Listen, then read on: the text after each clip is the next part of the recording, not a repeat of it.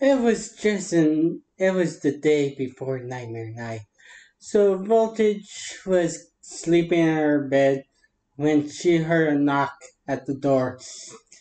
Startled by this knock, Voltage made her way downstairs, drinking her pumpkin spice coffee. As soon as she opened the door, she saw her best friend There. After some pleasant exchanges, Melly asked if Voltage had a Nightmare Night costume.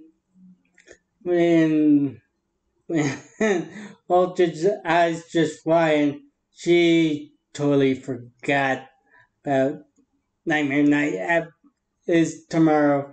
So in a panic, she she grabbed a can of Mountain Dew Voltage. After putting her coffee cup in the sink, grabbed 500 bits that she left on the table, and quickly rushed to Carousel Boutique before they closed in like 30 minutes.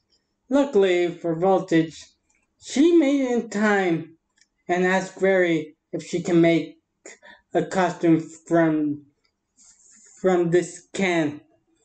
Rary looked at the can, not knowing what it was, but she said sure and took took Voltage's 500 bits and began working.